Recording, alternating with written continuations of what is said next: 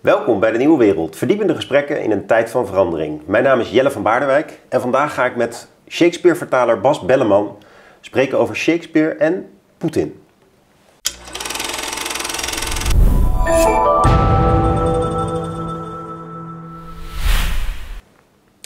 Bas, leuk dat je er weer bent. Ja, dankjewel. De vorige keer hebben we jouw vertaling, jouw fantastische vertaling van de sonnetten van Shakespeare besproken. Nou, ja, dat vond ik toen een leuk gesprek. Ja, en eh, toen nam je ons mee in uh, al, al, die gedichten en uh, de samenhang ertussen ook, waar ik me niet zo bewust van was voorheen. Ik kende wel bepaalde sonnetten, maar die integrale vertaling en jouw commentaar daarbij maakte duidelijk dat je dat echt moet lezen als een boek of zelfs als meerdere boeken. Ja. Nou, dus dat was heel leuk en dat smaakte naar meer. en we hadden contact over nu de actualiteit, de speech van Zelensky, um, het vraagstuk van Poetin. Wie is die man? Is het een ja. Ja, wat voor staatsman is het en wat voor wanen leeft hij in? Ja, precies. En het, het, deed me natuurlijk denken aan Shakespeare, omdat veel dingen me aan Shakespeare doen denken, maar zeker als er sprake is van uh, koningen en oorlog. En Poetin mag je toch wel als een soort koning beschouwen. Ja, dan doet het me natuurlijk meteen aan, uh, aan Shakespeare denken. Dus dat was ook waarom ik je even mailde erover. Uh, zal ik daarover van wal steken? Wat denk je? Ja, ik denk dat we daarover van wal moeten steken. En misschien even als ondertiteling van wat we van plan zijn eigenlijk Kijk, ehm, je kunt natuurlijk alles uh, erbij betrekken om uh, over de actualiteit na te denken, maar we zien het ook als een uitnodiging om vanuit nu het conflict uh, in Oekraïne opnieuw Shakespeare in te duiken. Hè? Als een soort aanleiding om Shakespeare beter te begrijpen. En andersom natuurlijk ook wel, hopen we dat het een licht laat schijnen op de, op de motieven van zo iemand als Poetin. Ja, het is, het laat ook zien hoe relevant dat werk van Shakespeare nog steeds is, dat je het nog steeds terugziet. Hij heeft toch allerlei ideeën ontwikkeld in zijn toneelstukken over, over macht en over koningen en over oorlog, die je gewoon nog steeds ziet. zonder dat wij natuurlijk nu al precies kunnen weten hoe de oorlog in Oekraïne zich ontwikkelt of hoe het, uh, hoe het gespeeld wordt. Uh, zie je al wel bepaalde patronen. En het begon bij mij met, uh, met Henry V, een van de, ja, eigenlijk de succesvolste koning die Shakespeare op toneel heeft gezet. Uh, die de beroemde battle bij Agincourt heeft gewonnen. Uh, die, die geeft de hele tijd redenen voor wat hij doet. Voorwendsels. En dat doet Poetin ook. En dus die zegt, oh, de NAVO rukt op naar het oosten. Die zegt, oh, in Oekraïne, daar worden mensen onderdrukt. er zitten daar nazi's. En ja, we kunnen eigenlijk niet anders dan van ons afslaan. Dat is, dat is wat Poetin voorwendt. Daarom begint hij die oorlog. En dat doet uh, Henry V ook. En die, ja, dat begint al helemaal in het begin uh, van het toneelstuk, waar dan twee of drie mensen uh, een complot smeden tegen Henry V. En dan vraagt hij aan ze: Goh, ik heb hier een misdadiger. wat zal ik met hem doen? zal ik mild voor hem zijn? Nee, zeggen die mensen. Nee, dat, dat zou ik echt niet doen hoor. Ik zou wel op je strepen staan als koning. Terwijl ze dus een complot tegen hem smeden. Nou, uiteindelijk blijkt uiteraard Henry V dat complot te kennen. En die, geeft ze dan. Ze zegt, oh oké, nou fijn dat jullie me dat advies geven. Kijk, ik wilde genadig zijn. Maar als jullie me dit advies geven, wacht, dan heb ik hier ook iets voor jullie. Dan heeft hij dus op papier, al lang voorbereid, de veroordeling van die mensen. Die geeft hij ze dan. Ja, schrikken natuurlijk. Ze, ze denken, oh god, wat is dit? Ik, ik beken, ik uh, vraag om genade. En dan, dan uh, zegt hij, genade? Dat, dat, dat, je hebt toch zelf net gezegd dat ik niet genadig moest zijn. Ik wilde best genadig zijn, ik was heel genadig. Maar jij hebt tegen mij gezegd dat ik niet genadig moet zijn. dus dan zegt hij, ja, the mercy that was quick in us but late, by your own counsel is suppressed and killed. You must not dare for shame to talk of mercy. For your own reasons, turn into your bosoms as dogs upon their masters. Dat als honden die zich tegen hun eigen baas keren. Eh, zo gaan jullie redeneringen tegen jullie in. Dan gaan ze er dus aan. Maar dat doet hij dus niet zelf. Hij zegt niet, oh, ik heb een complot ontdekt en daarom dood ik die mensen. Nee, hij zegt van, goh, ik wil er best genadig zijn. Aan mij ligt het niet. Nou, het interessante is dat, dat dat is eigenlijk ook een psychologisch inzicht van Shakespeare. Hm. Dat hij, dat hij een, een, een reden, een voorwendsel, maakt het makkelijker om zulke beslissingen te nemen. Als je gewoon uit routine redenen verzint, dan is het makkelijker om vervolgens ook daadwerkelijk de acties te ondernemen die je toch al van plan was. Hm. Het, uh, de Machiavelli had dat, uh, had dat anders. Uh, die, die, was daar volgens mij te rationeel voor om dat zo te, te voelen. En dus die zei bijvoorbeeld: het is, het is beter voor een, voor een heerser om religieus te schijnen dan het daadwerkelijk te zijn. Want ja, als je religie serieus neemt, dan kun je natuurlijk niemand doden. Hè? De, de, gij zult niet doden. Maar ja, als heerser moet je dat wel. Dus dan kun je maar beter niet religieus zijn, maar het wel lijken. Als een soort propaganda. Shakespeare doet het eigenlijk anders. Die, die geeft het als een soort uh, ontlading, zodat je je geweten niet hoeft te belasten. En dat doet Henry V dus de hele tijd, ook voor zijn medestanders. Hm. Want ja, je zult die complotmensen maar om moeten brengen. Ook die hebben dan redenen. Hè? Hm. Is uh, één ontzettend beroemd moment. Daar, uh, de battle bij Agincourt is, is legendarisch geworden, omdat het maar een klein groepje Engelsen was tegen een overmacht van Fransen. En die Fransen dachten, nou, dat gaan we wel redden. Maar die Engelsen wonnen. En na een tijdje waren ze zo succesvol. Ze hadden allemaal, uh, allemaal krijgsgevangenen gemaakt. Dat waren er zoveel dat ze in de minderheid waren ten opzichte van hun krijgsgevangenen. En de Fransen waren aan het hergroeperen, dus die kwamen eraan. Dus na een tijdje zou er een enorme overmacht zijn van Fransen, waarbij die krijgsgevangenen zich dus ook weer zouden gaan voegen. En Henry V nam toen de praktische beslissing om al die krijgsgevangenen om te brengen. Dus hij, uh, hij, hij, zegt dan nog van, uh, but hark what new alarm is the same. The French have reinforced their scattered men. De Fransen hebben hun mannen weer bijeengebracht. Then every soldier kill his prisoners. Give the word through. Echt die reden. De Fransen hebben zich gehergroepeerd. Wacht, iedereen moet zijn gevangenen ombrengen. Heel praktisch. Dan zegt ook nog iemand, een heel eenvoudige soldaat, die zegt nog, kill the boys and luggage, tis expressly against the law of arms. Zelfs een eenvoudige soldaat snapt, dit kan eigenlijk helemaal niet. Dit is tegen de wet. Dit, dit mag niet. Maar hij doet het toch, praktisch. Nou, vervolgens blijkt dat de Fransen ergens een paar Engelse jongens hebben omgebracht. En dan denkt hij opeens, wacht eens, er zijn een paar Engelse jongens omgebracht. Dat is de reden. En hij geeft datzelfde commando nog een keer. Hij geeft dan het, uh, het, het commando om die krijgsgevangenen om te brengen, maar nu met een reden. En dan, dan, dan zegt hij, uh, ja, dat, uh, dat, nou ja, dat hoef ik niet allemaal te citeren, maar dan zegt hij, die, die mensen zijn omgebracht. Ik was nog nooit zo boos als nu. Weet je wat? Breng alle gevangenen om. Dat is vergelding. Hm. Dan heb je een betere reden. Ja. En je hebt ook wel uitvoeringen waarbij ze dan zeggen: Oh, dat is een vergissing van Shakespeare. Uh, dat, dat, uh, opeens geeft hij twee keer dat commando. Ja, dan, dan wordt er eentje uitgehaald of zo. Maar nee, dat is, het is expresso. Hè? Dat hij eerst de praktische beslissing neemt en later de reden zoekt. Hm, de rechtvaardiging voor zijn gedrag. Ja, um, en dus ook de psychologische rechtvaardiging van zijn gedrag. Hè? Hm. Dat hij denkt: Oh, wacht, maar ik heb een reden. Oh, nou ja, oké. Okay. Om het eigen geweten ook te sussen. Ja, en het Uh, knappe is dus... aantal, een, ik zou een aantal meer maatschappelijke thema's even eruit willen Hmm. lichten. Uit wat je zojuist hebt gezegd. Om beter te begrijpen in welke context Shakespeare zelf ook staat. Hmm. Dus één eh, klassiek onderscheid, zeg maar, als je nadenkt over macht en eh, patronen van koninklijk gedrag. Is denk ik dat er een, eh, een, een spanning is die dan al in Engeland eh, speelt tussen het systeem van de rule of law. Waar je net ook even aan refereerde, bijvoorbeeld eh, met die oorlog. Hè? Dus zeg maar. Ehm, er zijn natuurlijk eh, rechtvaardige en onrechtvaardige redenen om een oorlog te beginnen, tenzij je pacifist bent. Maar eenmaal een oorlog begonnen, dan kun je Ja. ook altijd nog nadenken over de rechtvaardigheid van het verloop in de oorlog. Hè? Dus Ja, ook een het oorlogsrecht. oorlog, ja, een oorlog die om niet eh, rechtvaardige redenen is begonnen, die moet toch op een bepaalde manier verlopen. Wil je niet ehm, toch ook nog de mores daarbinnen schenden. Hè? Dus ehm, nou, dat heeft dan bijvoorbeeld te maken met dat je geen burgers mag eh, afschieten. Nou, Bijvoorbeeld, ehm, ja. En geen krijgsgevangenen mag doden. Ja. Eh, dus, eh, maar die rule of law, even heel generiek gezegd, hè, dus de rechtsstaat, Ja. die was toen al wel ehm, ontwikkeld in Engeland. Hè? Ja. Eh, verder eigenlijk zelfs dan wat er ehm, in Frankrijk en Nederland speelde en Duitsland volgens mij. het is de tijd van Rembrandt, hè? dus... ehm, eh, en in die tijd heb je tegelijkertijd dus koningen die zich juist weer meer, meer traditionalistisch gedragen. Hè? En die eigenlijk ook liever boven de wet zouden staan. En dat ook vaak de facto deden. Hè? Eh, Ja, er was, dat nog, er was nog geen democratie natuurlijk. Hè? Nee, maar dat is weer wat anders. Hè? Dus in ieder geval de rechtsstaat, even los van nog de democratie. En dus dat, dat de burgers eh, beschermd waren ten opzichte van de staat. Dat wil nog niet zeggen dat ze ook veel inspraak hadden. Ehm, maar dat is een belangrijk eh, iets, denk ik. Hè? Of, is het ook dat Shakespeare daar tussenin manoeuvreert? Of gaan zijn stukken eigenlijk vooral over, ehm, over die oude klassieke machtsstructuren van koningen? Of zit die, zit die moderne maatschappij met die moderne instituten er ook in bij hem? Ja, die zitten er zeker ook in. Eh, je hebt ook rechtszaken in bijvoorbeeld de Merchant of Venice. Dan, dan, eh, dan, eh, dan heeft iemand een zakelijk conflict en dat komt voor een rechtbank.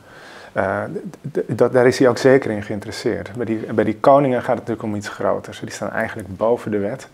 En dan is de, de vraag vooral, wat, wat brengt hun ondergang teweeg of waardoor gaan ze niet ten onder? En dan, Hmm. dan lijkt het meer om karakterzwaktes te gaan, Ja, om ja. tragische conflicten, Hm. eh, waarom je je macht wel of niet verliest. Hm. Dat doet hij inderdaad wel in een context waarin eh, er wel een monarch is die, die daadwerkelijk, eh, ja, gewoon, die, diens woord is wet. Met de ontwikkeling van een modern rechtssysteem, dat, in de, dat, ja, dat eigenlijk aan het- zich aan het ontwikkelen is of, of behoorlijk eh, uit de kluiten gewassen is. Eh, maar ja, god, dat, dat, dat, weet je, er waren ook gewoon nog heksenprocessen en zo. Hè? Dus, je moet het ook niet eh, overdrijven hoe goed dat al functioneerde. Hm, hm. Nee, toch aardig als context. En je noemde ook even Machiavelli. Ja, En, eh, ongeveer een eeuw eerder hè, is dat. Ja, da- en eh, Shakespeare, en dat is een auteur, misschien om kort even iets over te zeggen dan. eh, die, die, die schreef veel over macht en hoe je macht Ja, ja, ja. ehm, ehm, moet begrijpen, maar ook op een wat ehm, opportunistische manier. Dus Zeker. hoe, hoe speel je met mensen, hoe manipuleer je mensen? Ja. En eh, hij, hij schreef daar eigenlijk heel erg eh, nou ja, opgeschoond over. Dus hij, hij, maakte zich geen enkele illusies over eh, nou ja, het, het goede of het schone of het ware. Hij wilde juist begrijpen, ja, hoe werkt macht nou? Ja? En, ja. ehm, Ja. Dus Als een eigenlijk, rationele actor. Dus Machiavelli kun je, eh, eh, als je naar de macht kijkt volgens Machiavelli, dan, eh, dan zie je rationele mensen beslissingen nemen. Op grond van de informatie die ze hebben, op grond van hoe ze weten dat het volk reageert. Het is beter geliefd te zijn dan, dan eh, gehaat, maar. Of, of was het andersom, nou weet ik het niet meer zeker. Maar die, eh, dat, eh, dat soort regels maakt Machiavelli om te zeggen: je moet, eh, je moet de macht op deze manier vasthouden. Maar daar, de, de psychologie van die machthebbers, die speelt bij Shakespeare net een iets andere rol. Die gaat toch kijken van wat voor tragiek zit hier nou in. Niet welke vergissingen maken ze, maar welke tragiek zit hierin. ja, ja, ja. En dan kun je dat nog even, voordat we dan het volgende voorbeeld pakken, nog een beetje uitlichten? Want tragiek kennen we natuurlijk ook uit de klassieke tragedieën.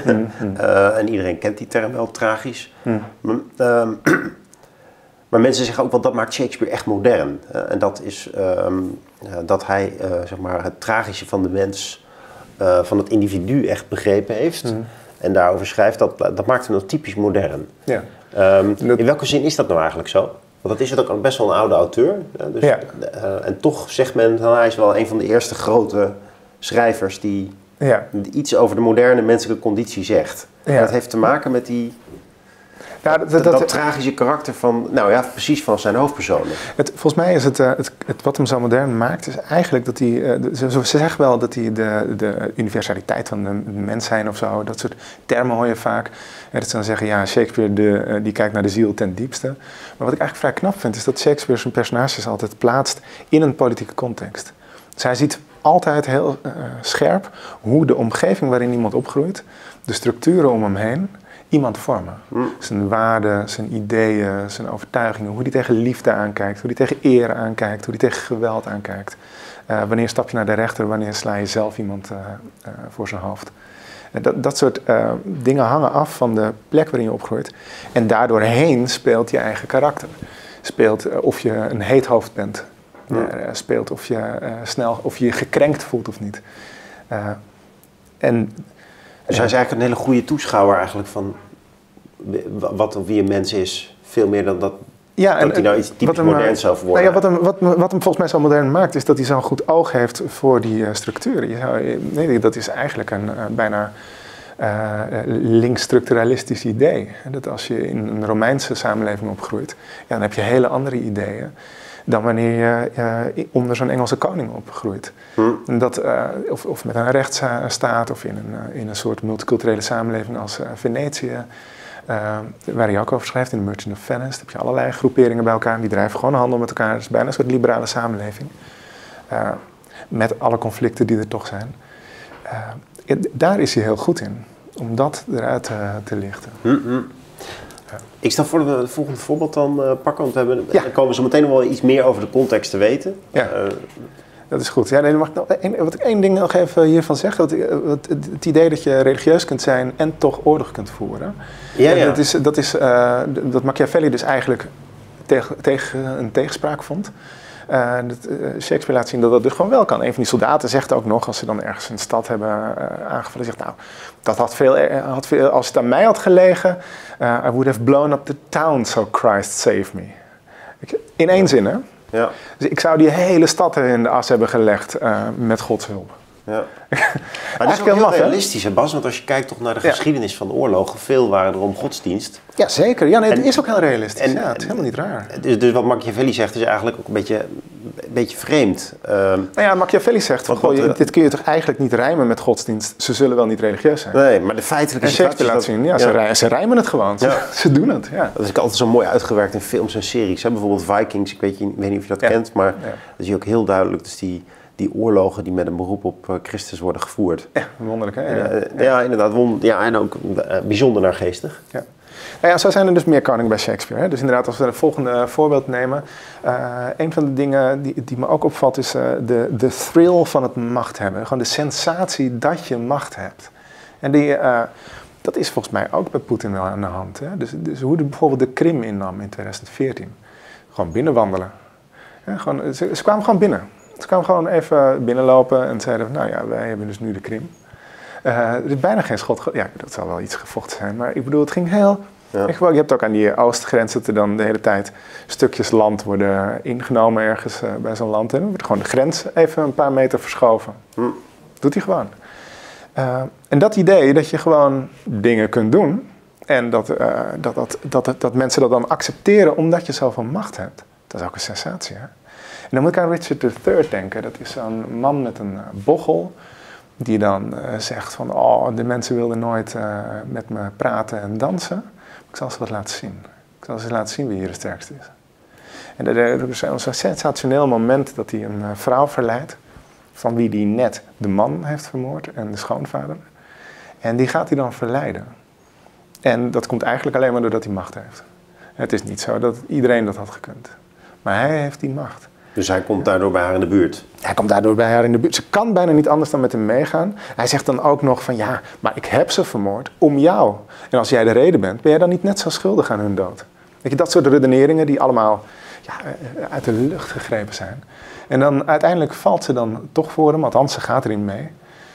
En dan, dan kijkt hij ook het publiek aan. Dat is zo'n, in, uh, in House of Cards doet hij dat ook altijd. Hè? Dan, dan kijkt hij zo in de camera.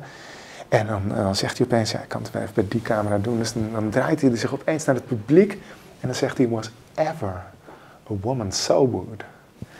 Dat hij, dat hij uh, was ever a woman in this humor wooed. Was ever a woman in this humor won.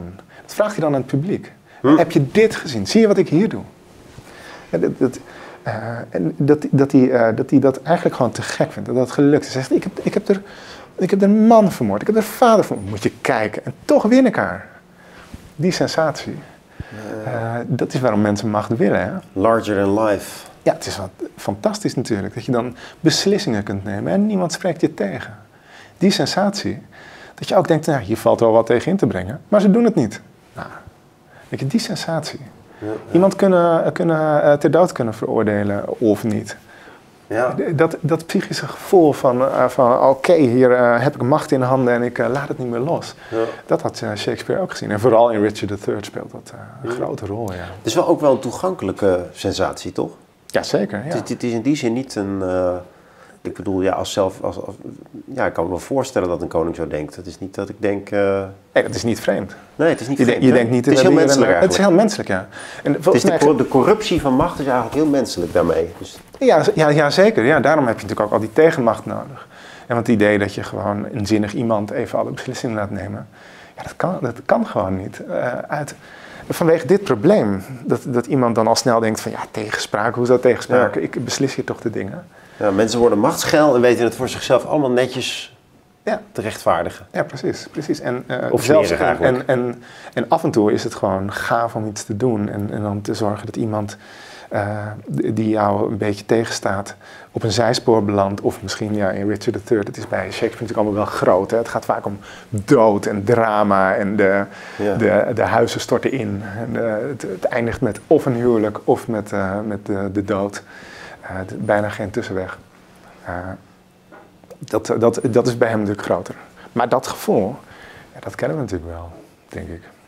Ja, maar de, gro- de grote thema's weet hij er dus wel aan te verbinden. En zit dat ook, kun je nog een voorbeeld geven van de tragiek die hij daarin eh, weet te plaatsen? Hoe zo'n koning dan toch ook eh, een beetje het idee van what goes around comes around. Ja, nou, bij Richard III gaat dat natuurlijk inderdaad. eh, ja, die, die wordt uiteindelijk natuurlijk toch eh, verslagen. Alleen al omdat hij maar doorgaat. Hij kan gewoon niet stoppen met, eh, met eh, moorden. En, eh, ja, na een tijdje houdt dat natuurlijk een keer op.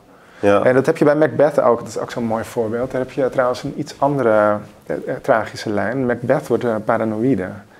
Nou, ook dat zou je best eens op Poetin kunnen projecteren. Nou, absoluut. Eh, dus eh, Macbeth is, eh, is iemand die krijgt die voorspelling van de heksen.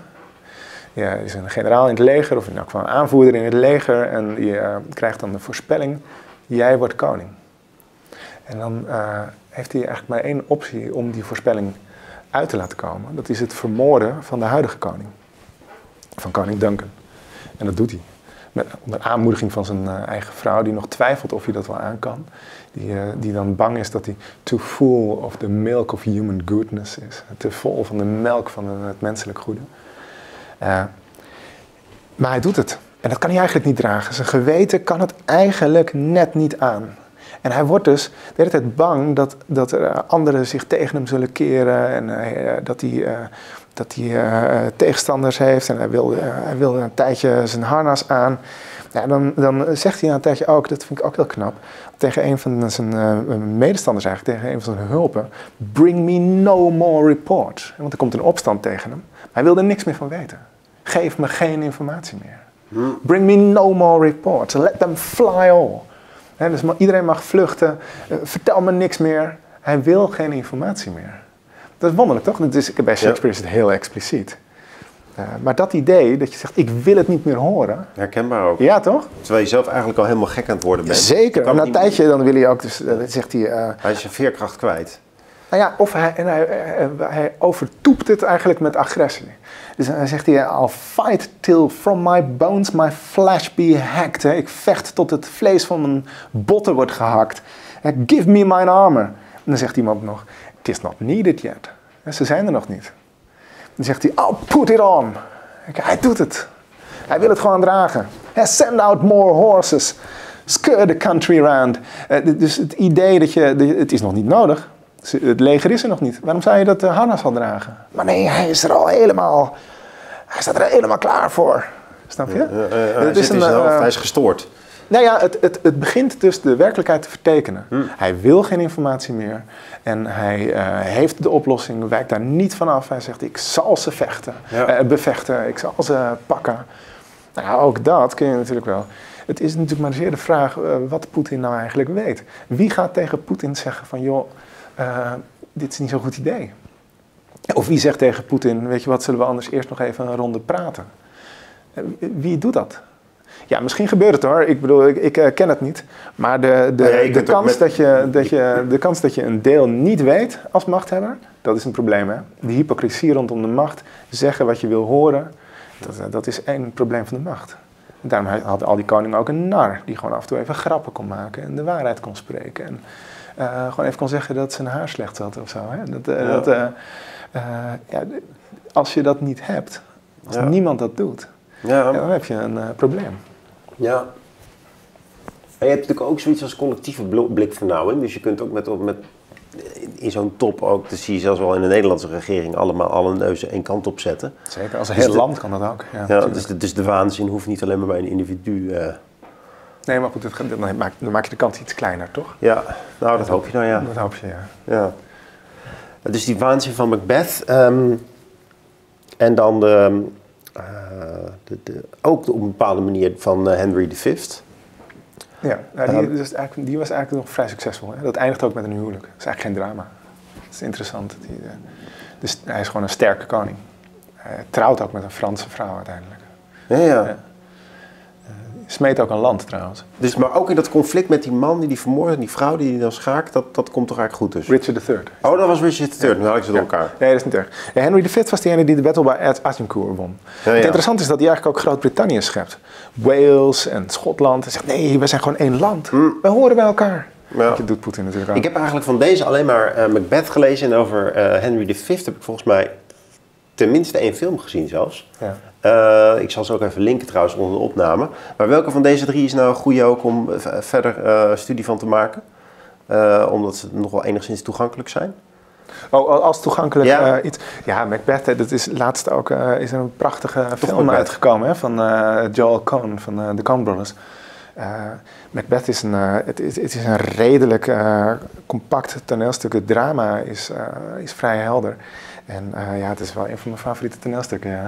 Nou ja, ook voor jou dus toch nog als... Ja, ja zeker. Ja, ja, ja absoluut. Uh, we gaan terug naar de actualiteit. Dan kijken we weer wat die koningen erover kunnen zeggen. Uh, misschien als uitstapje even die speech van Zelensky, waar we net al kort over van gedachten wisselden voor de uitzending. die uitzending die was in de Tweede Kamer. Um, ja. ja, het is dubbel, want het is natuurlijk raar zo de Zoom die half werkt en zo'n man die daar in zo'n kort shirtje uh, een verhaal aan ons vertelt. Hmm. Uh, tegelijkertijd spreekt er ook een enorm redeneertalent uit. Ja, zeker. Dat is, ik, hij is ook een acteur. Hè? Ik weet niet hoe goed hij Shakespeare kent, maar zijn retorica is eigenlijk alles wat hij heeft. Want het is een klein land tegen het grote Rusland. En het enige wat hij kan is met retorica medestanders vergaren. Lukt hem trouwens bijzonder goed. Uh, hij heeft natuurlijk ook wel een punt. Uh, een dictatoriaal regime als Rusland valt Oekraïne binnen. Moet de vrije wereld dat willen laten gebeuren? Nou, liever niet natuurlijk. Hè, dus er komen ook allerlei sancties en zo. Maar hoe hij dat dus doet, hoe hij de, de mensen wint, dat doet hij inderdaad met retorische technieken. Ik moest daar in, in die speech van de, aan de Tweede Kamer, daarin zegt hij van ja, we zijn nu 36 dagen in oorlog. en het wordt al routine. Niet voor de mensen in Mariupol. Hè. Die, die, worden, die hebben geen eten, die hebben geen drinken, hebben geen voedsel. Maar voor anderen wordt het al routine. En uh, dat moeten we voor oppassen, want uh, kijk eens wat er gebeurt. Kan uh, Rusland dit zomaar doen? Maar ja, het gaat bij sommige mensen het ene oor in het andere uit. Dat doet denken aan het stuk Julius Caesar, waar Julius Caesar vermoord wordt door Brutus en zijn kornuiten. Julius Caesar uh, dreigde te veel macht te hebben. Brutus, uh, als een goed Romein, zat in een enorm dilemma. Wat moeten we doen? Uh, moet ik Caesar nu wel of niet in het... vanwege de staat, vanwege Rome, moet ik hem daarom vermoorden of niet? En Marcus Antonius, die mag dan spreken als vriend van Caesar aan het graf van Caesar. Maar geeft ze dan als voorwaarde mee uh, je moet wel vriendelijk over ons praten. Je moet gewoon zeggen dat wij eerzame mannen zijn. Je moet gewoon eigenlijk niet tegen ons inpraten. Die Marcus Antonius die uh, zegt dan, ja, uh, Caesar was een vriend van mij en hij was gul voor de mensen. Brutus zegt dat hij koning wilde worden, dat hij ambitieus was. Ja, Brutus is een eerzaam man. Goed, hij weigerde de, de, de, hij weigerde de, de kroon, hij weigerde, uh, hij weigerde alle eer betonen. Is dat dan uh, ambitie? Is dat dan dat je op wil klimmen? Maar goed, Brutus zegt dat en hij is een eerzaam man. Weet je, die retoriek, dat je de hele tijd dat terug laat komen. Dat, zo klinkt het ook als van, ja, het gaat de ene oor in het andere de oor uit. Bij de mensen in Mariupol toch niet? Maar goed, hier wel. En uh, weet je, dat die, die, die, die technieken, dat herhalen en het menselijk maken tussendoor dat is, eh, dat is die, eh, Shakespeareaans, ja. ja. Dat, uh, dat Jij zou het ook echt Shakespeareaans noemen? Nou ja, die techniek komt van Shakespeare. Ja, ja. Shakespeare had het misschien ook weer gejat van iemand, maar uh, die, die, techniek, dat is wel een bekende techniek. Ja. leuk dat je dat zegt. Misschien even een klein intermezzootje, omdat uh, van Shakespeare wordt wel gezegd dat hij, dat hij echt een, nog wat leentjebuur speelde bij andere auteurs. Bij Marlowe onder andere. En dat echt, he, he, zelfs hele zinnen, op hele grote schaal kopieerde hij zinnen, maar dan net net, net op een manier dat je dacht van ja, zo is het mooier. Ja, eh, klopt. ik las een commentaar van Menno Wigman, die haalde een aantal um, uh, auteurs weer aan. Ja, die dichter die ken je natuurlijk. Uh, En uh, Wigman die haalt een van die commentatoren aan en die heeft gezegd ja, maar Shakespeare heeft inderdaad veel gejat, maar het is wel mooier dan het origineel. Ja, klopt, klopt. En dat zou ook op het niveau van het inzetten van retorische technieken zo zijn. Zeker, Dus de vorm van zijn stukken. Zeker. Die vaak ook helemaal geschreven is trouwens, ook in klassieke in, in, uitbreekt uit die klassieke vormen, maar wel heel duidelijk ook daar respect aan betuigt en daar uh, gebruik van maakt. Ja. Ik heb het idee uh, van een uh, emulatio, van het beter willen doen dan het origineel. Ja, zeker. Nou, copyright bestond nog niet, hè? Dus, dus je kon jatten wat je wilde in feite. als er al copyright was, dan was het van, van een toneelgezelschap, maar niet van de schrijver. Dus ja, bepaalde toneelstukken kwamen ook gewoon in een nieuwe versie opnieuw op toneel. Hè. Dus sommige dingen bestonden al en dat schreef iemand anders het ook, maar dan beter. Dus dat deed, uh, deed hij ook. Dus, daar ook wel, uh, dus ook die werkvorm zelf was niet origineel? Nee, nee, dit gebeurde heel veel inderdaad. Je had ook, ik kwam inderdaad wel een keer commentaar op Shakespeare. Dan hadden ze het over een upstart crow beautified with our feathers, zei iemand. Het, die heeft zich mooi gemaakt met onze veren. Het is maar een kraai, maar hij gebruikt onze veren om zich mooi te maken. Nou ja, dat, die heeft het pleit wel verloren uiteindelijk natuurlijk. En Shakespeare was toch de beste van hen allemaal. Dus uh, dat, uh, dat, uh, dat vonden zijn collega's uiteindelijk ook. Maar ja, dat hij, dat hij wel eens dingen overnam, behoudt het goede, en, dat, dat, dat is zeker. Ja. Ja, dat is ook niet zo erg toch? Je kunt best technieken van een ander lenen. En, nee, dat is ook zo. Toen ging dat op die manier. Ja, nu zou het natuurlijk uit de boze zijn, maar... Nou ja, kijk, het, idee van wat originaliteit is. In de 19e eeuw kreeg je natuurlijk die romant, het romantische idee van originaliteit, namelijk dat niemand nog gedaan heeft wat jij gedaan hebt. Uh, dat is bijna een, een, karikatuur van originaliteit. Uh, Shakespeare was in die zin niet strikt origineel. Hij gebruikte ook historische bronnen, hij gebruikte verhalen die al bestonden. Ja, King Lear over een koning die zijn rijk verdeelt onder drie dochters, althans dat wil hij. Ja, dat is eigenlijk een sprookje. Dat, dat bestond, dat verhaal was er. Uh, en hij, uh, hij gebruikt het en vertelt het nog beter. Ja. ja dat gebeurt nu natuurlijk ook. Hè. Je hebt toch al die, uh, ja. al die films die naar het verhaal van het ware leven of naar of een remake van een bepaalde film, eh, een uh, Amerikaanse remake van een Spaanse film. Dat heb je natuurlijk allemaal. Maar het ingewikkelde eraan is natuurlijk altijd dat het dan snel sprookjesachtig wordt. En niks mis met sprookjes trouwens. Ik weet dat jij er ook een boek over geschreven nou ja, hebt. Ik hou er veel van. Ja. Maar, maar het, zoals ik het nu even bedoelde als typering is dat je dan vaak in opposities denkt, in clichés en een mooi verhaaltje aan het vertellen bent. Hè? Dus dat, dat is het nadeel van natuurlijk als je het script volgt van de typische goede Netflix film. Ja, ja, ja, ja, soms lukt dat wel, maar soms kan het ook een soort herhaling van zet worden. Ja, dat, is, nou, dat is natuurlijk wat Shakespeare anders doet. Dat is het ingewikkelde. Ja. Hoe eigen je de vorm zo toe dat iedereen nog steeds denkt van... hé, hey, dat is een prachtige Hollywoodfilm, terwijl je er toch over... Ja. terwijl het toch opstijgt boven dat niveau, hè? Ja, ja en dat, uh, dat kon Shakespeare natuurlijk. Hè. Die gebruikte wel het materiaal en maakte daar dan vervolgens iets van dat niemand meer overtrof. Dat is ook zo wonderlijk. Dat, laatst stond er ook zo'n stuk in de Volkskrant met drie van die theatermakers. En dan vroeg iemand van, goh, hoe kan het nou dat Shakespeare zo actueel blijft? En volgens mij zeiden ze alle drie van ja, ik had het niet gedacht of ik wist er eigenlijk niet zoveel van. Maar toen vroeg iemand van, goh, zullen we er eens naar kijken? En toen bleek het waanzinnig goed. Dus elke, elke generatie komt weer een keer met Shakespeare in aanraking. Je kunt het eigenlijk niet vermijden. En elke generatie is weer verbluft over hoe goed het was. Dan denken ze, dit is oud, dit is stoffig, dit is uh, iets van vroeger. Ja. En elke generatie weer ja. uh, raakt overdonderd. Maar waar zit nou de kern van die, die overdondering voor hem? Wat is nou zijn, wat, is dat die menselijkheid of, wat, of die emoties? Ja. Kijk, zijn taal is ook prachtig. Hè? Dus dat, daar, dat, dat scheelt al enorm. Maar ingewikkeld is, ook, hè Bas? Jij bent soms wel, ja, je geniet er enorm van, maar je, je bent ook echt nodig.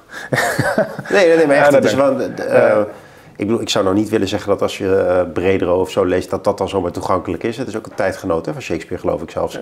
of iets later misschien. Ja, durf ik even niet meteen te zeggen. Maar... Nou ja, um, als je 17e eeuws Nederlands leest, dan je, zit je er natuurlijk ook niet zomaar in.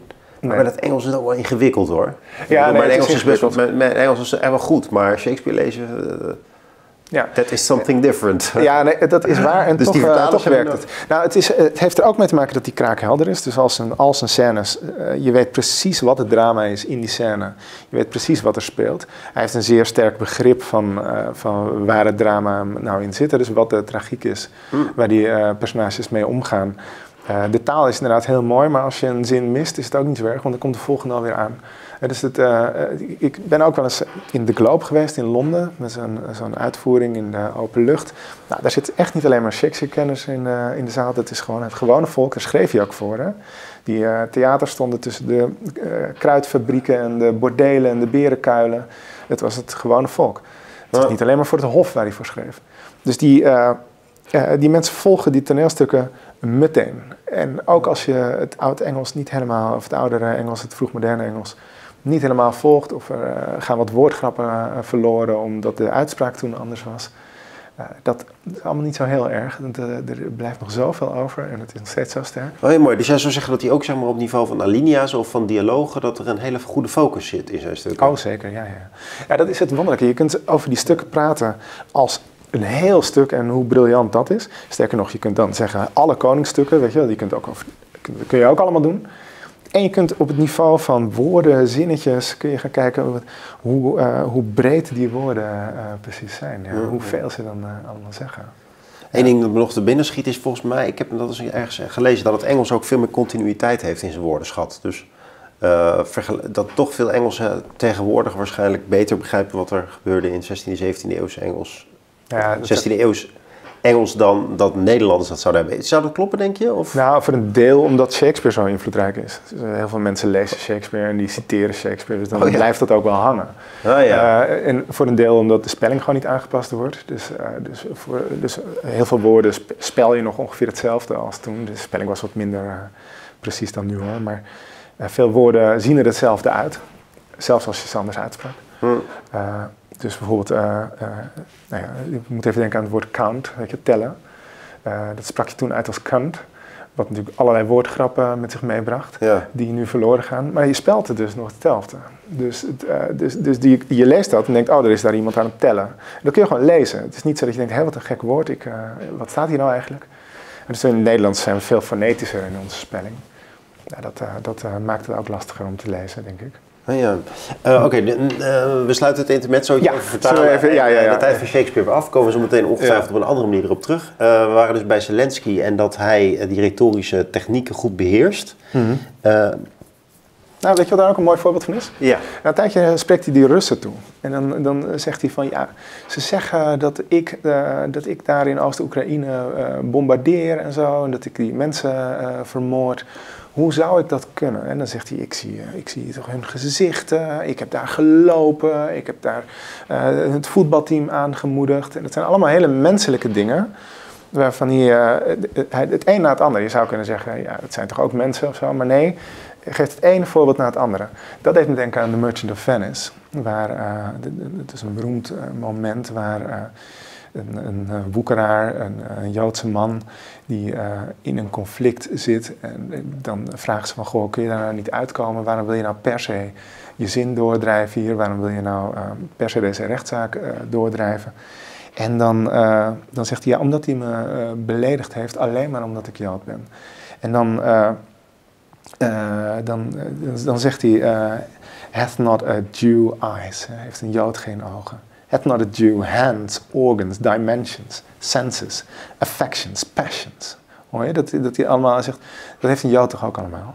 Fed with the same food, hurt with the same weapons, subject to the same diseases. Dezelfde eh, ziektes en wapens. Het kan allemaal pijn doen. Het, eh, ik ben er ook aan onderworpen.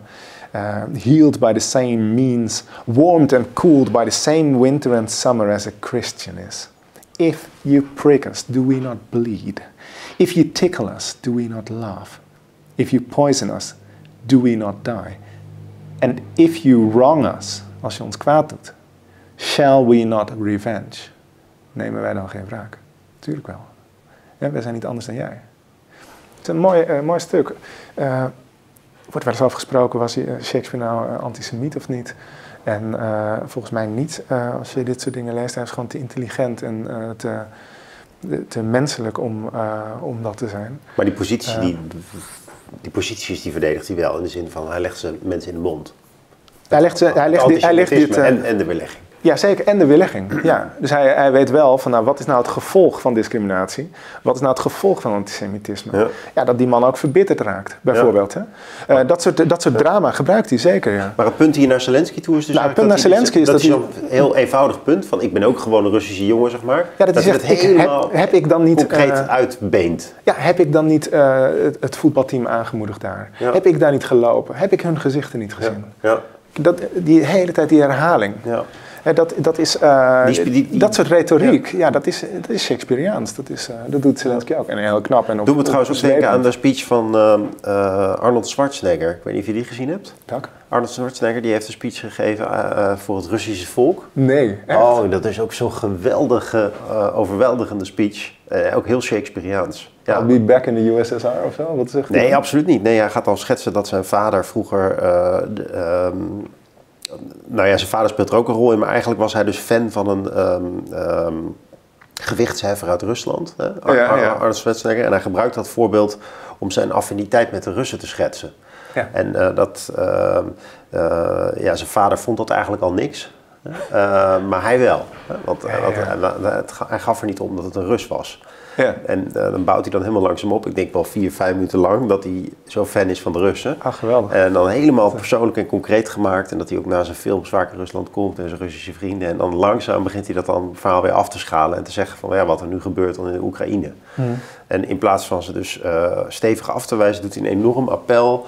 Ethisch gesproken op eh, eergevoel en op loyaliteit. Hmm. Op het belang van je identificatie en afzetten tegen je vader.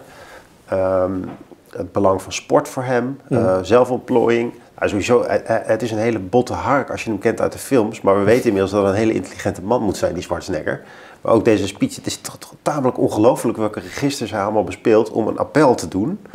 eh, op de Russen om de oorlog te stoppen. En, Ja. en op geen enkel moment veroordelend. Dus alleen, eigenlijk gek genoeg alleen maar sympathiserend. Ja. En ondertussen ehm, roept hij dus wel op, veel, veel overtuigender denk ik dan intellectuelen in kranten dat doen, eh, tot het stoppen van de oorlog. Ja, en- Ja, dat is knap.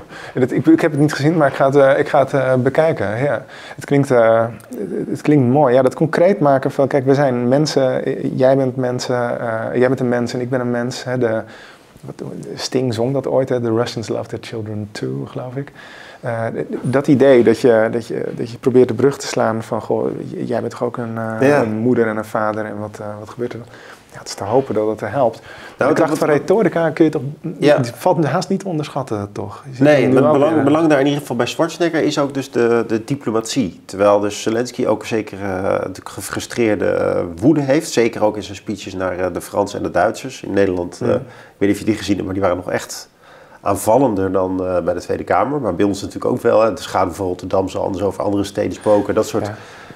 Dat soort eh, toch wel doembeelden ook. Ja, Zelensky is in oorlog op het moment. Ja, nee, dus dan is het ook niet zo heel vreemd. Nee, nee, ik voordeel het ook verder niet. Ja. Maar die, bij die eh, speech van eh, Schwarzenegger zie ik, ik weet niet of dat ook bij eh, Shakespeare eh, erin zit, maar die, die, die diplomatieke kritiek. Dus kritiek die eh, jou tegelijkertijd, dus eh, kritiek ver- verpakt als complimentje eigenlijk. Ja, ja, En dat is toch wel heel bijzonder om, eh, nou ja goed, mensen moeten het maar gaan kijken. Ja, ja, Eh, eh, maar maar dat is een hele rare retorische eh, manoeuvre eigenlijk. En, en ook heel knap.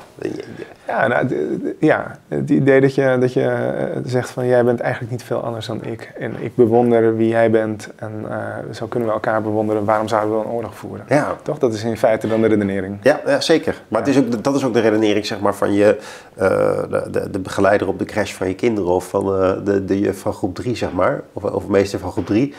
maar het wordt natuurlijk retorisch als je dat helemaal weet aan te kleden, dat een volwassene zich ook nog dan aangesproken voelt. Dus, dat, is, dat, dat is dat is knap. Dat is natuurlijk een heel, Ik bedoel dat de het is juf- een heel klein inzicht van hij is net als jij en stop er nou mee. Maar ja, ja, ja, ja, ja, ja. De, de juf eigenlijk een soort Shakespeareaanse technieken gebruikt om er... eh, ja in dit klein. maar goed, we gaan weg, we gaan Ja. weg van de speeches en terug naar de Shakespeare. Want we hebben nog wat op tafel liggen. Ehm, ja, nou, het- wacht, misschien zullen we gewoon met Richard II afsluiten. Zullen we daar eh, naartoe gaan? Dat is goed. Die, eh, Richard II was, eh eh, dat moet ik er nou wel even bijpakken. Dat is eigenlijk de koning die, eh, die was arrogant geworden. Hè? Die, eh, die dacht, ik ben onontastbaar, niemand kan mij, eh, kan mij raken, ik kan iemand zomaar wegwimpelen. Na een tijdje gaat dat natuurlijk toch mis en hij komt te laat tot dat inzicht. En dan, dan heeft hij een, een beroemde toespraak. En dan, dan is het misschien wel leuk om die even voor te dragen. Eh, daar, daarin komt eh, de Hollow Crown voor, weet je, waar ook die hele serie naar eh, genoemd is. Dat is van Shakespeare, de Hollow Crown. De Holle Kroon. Dan zegt hij, eh, For God's sake, let us sit upon the ground and tell sad stories of the death of kings. En laten we eens kijken hoe de koning allemaal de- eh, overlijden. Hoe gaat dat nou? How some have been deposed, some slain in war, some haunted by the ghosts they have deposed, some poisoned by their wives, some sleeping killed, all murdered. Allemaal, allemaal vermoord, al die koningen. For within the hollow crown that rounds the mortal temples of a king keeps death his court. En dus de dood houdt zijn, is eigenlijk de koning in de holle kroon. Daar is het hof van de dood. And there the antic sits, scoffing his state and grinning at his pomp, allowing him a breath, a little scene to monarchize. Hij zegt eigenlijk naar de dood, laat jou even koninkje spelen. Be feared and killed with looks. Eh, be feared and killed with looks. Die zegt, je hoeft maar om te kijken en dan, dan, dan zijn de mensen bang voor je. Je doden met blikken. En dan, ja, dan wordt hij natuurlijk ijdel van. Maar ja, uiteindelijk dan gaat het helemaal mis. En die hollow crown, het idee dat de, de, de, de kroon niet echt iets is, maar hol is. En daarbinnen zit gewoon een mens. Er zit een persoon die gewoon sterfelijk is. Ja. Dat is het enge besef van elke koning. Als je dat uit het oog verliest, ja, dan, dan ga je ten onder. En als je weet, oké, ik moet opletten, want het kan zomaar gebeuren dat iemand me gaat vermoorden, dan ben je er nog. Ik denk dat Poetin, uh, die laat zijn dekking nog niet zakken denk ik. Dus voordat hij bij Richard II aankomt en, uh, en uh, zich laat onttronen, dat zal nog wel even duren, vrees ik.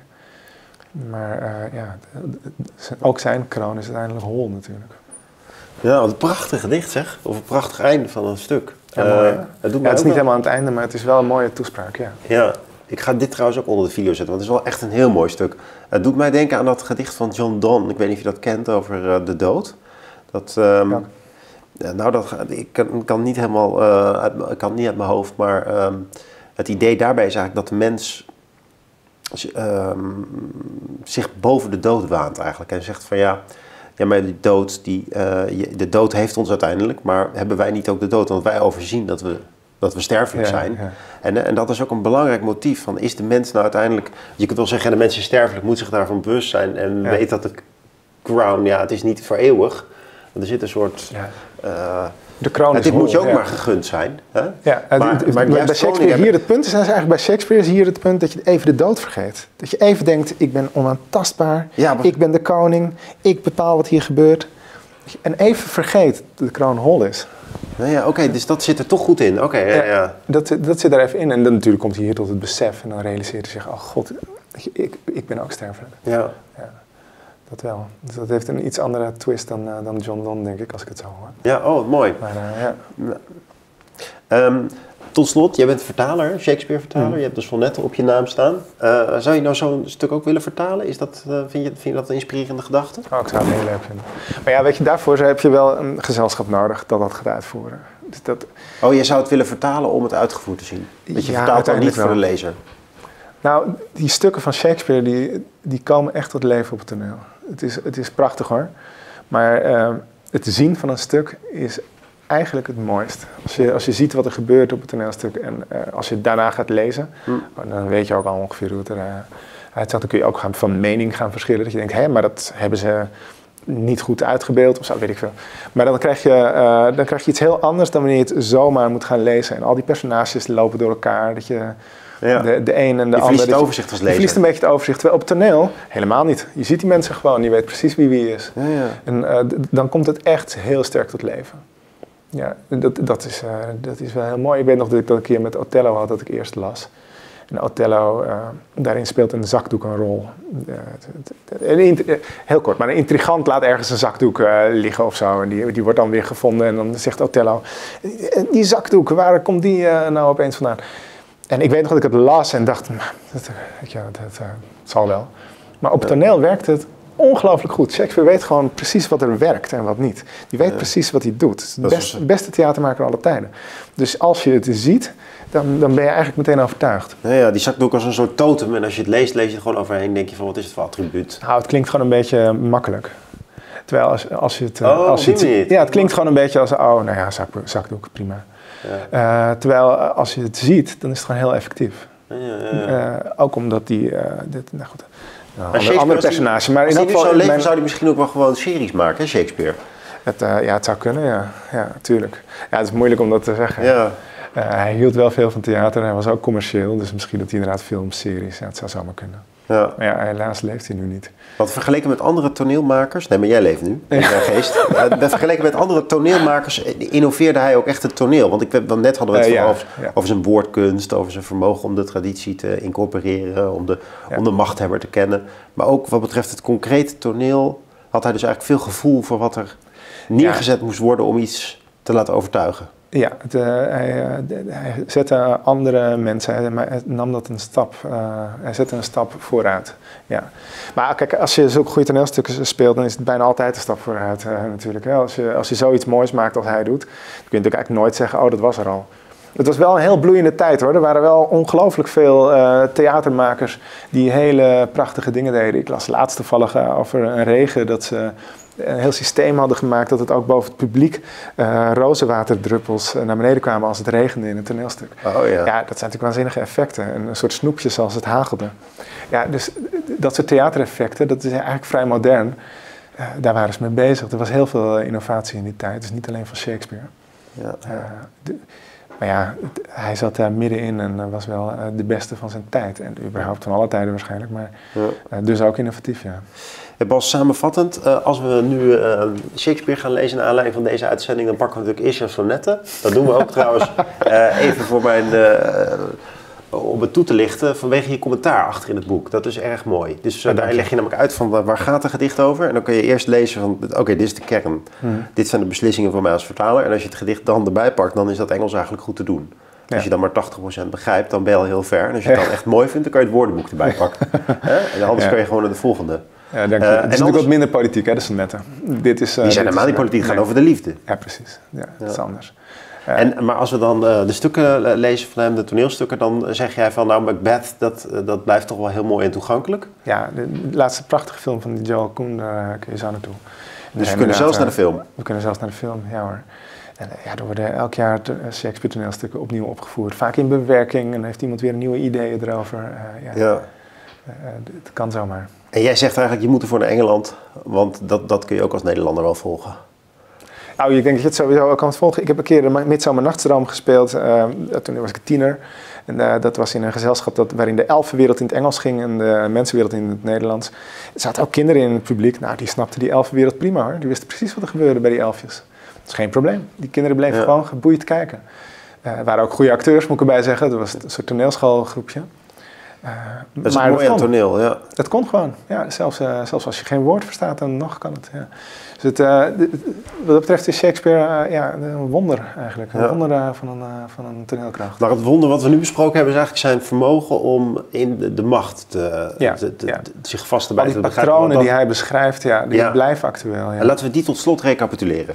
Dus wat, wat, wat, zijn nou die typische patronen van macht? Ja, ik had het idee waar ik, nu, uh, waar ik dus nu naar gekeken heb, is het, het sussen van het geweten, ook van je medestanders. Ja. Dus het idee dat je een reden geeft, dondert niet welke reden. Het is de... eigenlijk al genoeg om, uh, om de zaak vooruit te helpen, je oorlog vooruit te helpen. Ja, als je uh, zonder redenen dingen moet doen, is het toch veel moeilijker.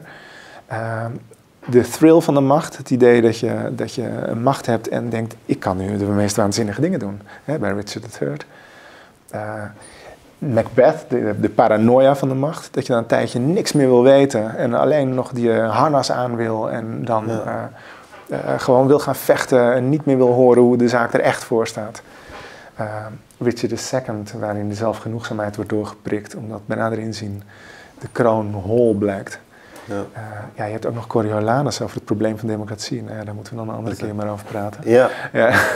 daar moeten we een andere keer over hebben. In ieder geval wat we nu ook besproken hebben is kort uh, Zelensky en zelf een stukje van Schwarzenegger de kunst van een redenvoering houden. Ja, ja, de, en de Shakespeareaanse uitwendingen. En die hebben vooral te maken met dingen heel concreet maken en daarmee Zeker, heel lichamelijk maken. Dit, dit, Identificeren met degene die je toespreekt. Ja, precies. En zo een brug slaan. En dan zeggen, kijk eens, zijn wij niet eigenlijk hetzelfde? Ja.